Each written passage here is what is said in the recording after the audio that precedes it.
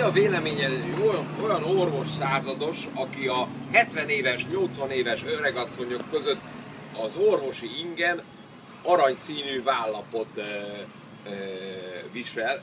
Cukrosként vártam 9-től Mi ez? Ez, ez a Honvéd kórház? Nem. Itt az egészségház. Itt az Vállapja van neki? A rendőrtiszt? A nem rendőr, hanem katona. Uh-huh. Az orvos hivatalból rangjelzés kap végzéskor. Uh-huh. Gondolj bele, azt mondja, mondom, mi van? Törzsőrmester vagy főtörzsőrmester? Mert három csillagja volt. Csak azt nem néztem, még életemben nem láttam orvoson vállapot. Aha. Fehér köppenyés Én már láttam.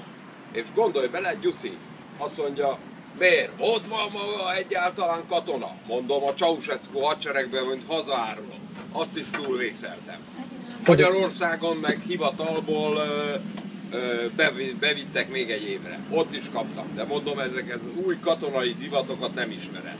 Képzeld, rám hívta a biztonsági őrt, hogy tűrhetetlenül beszélek vele, Igen.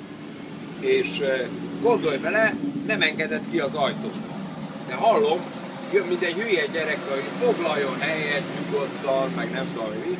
Fölmértem a lélek jelenlétemtől, megfogtam a, a piros-fekete hátizsákomat és a botomat, intettem neki, hogy leülsz, nyitott ajtón kimentem, jött a biztonsági őr, így csináltam neki a bottal, ez hátra högölt, jött egy 9-es busz, rögtön itt szálltam ki, egy, egy vagy két viszkit rögtön benyomtam az ijegységre.